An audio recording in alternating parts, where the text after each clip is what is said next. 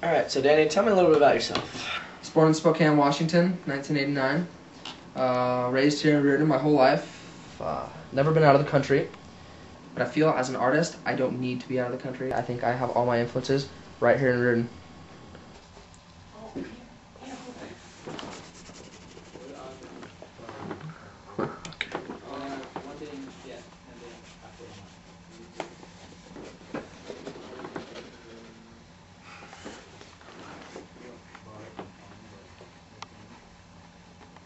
Um, so tell me a little bit about your drawing. Um, a lot of my drawings come from a lot of different things. So my drawings, I use art or models. I'll use models for the situation. I will use. I'll watch a TV show and I'll say, hey, that's cool, but I'm, I'm gonna put my spin on it. So I'll put my spin on it. Or I'll use video games, do the same thing. It's basically everything. That's basically it. That's cool. That's cool.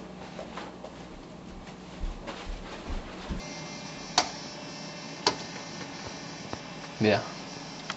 Um, my name's Scott uh, McDougal. You're disguising my body. Yeah, yeah, we are. Can you use like computer technology to like disguise my voice or anything? Uh, no, we really can't afford that though.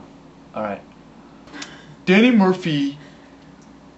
The way he procures art, the methods he uses, are very ingenious. Not really how most artists procure their ideas. They are very different, you could say.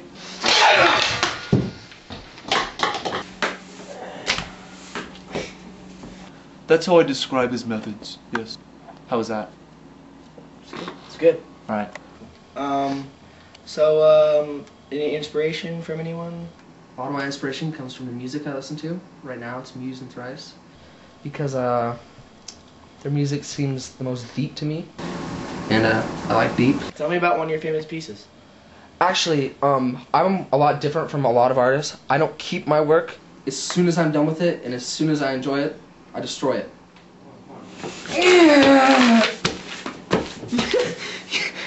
no, no, no! So uh, how come you're holding a cigarette but you're not smoking it?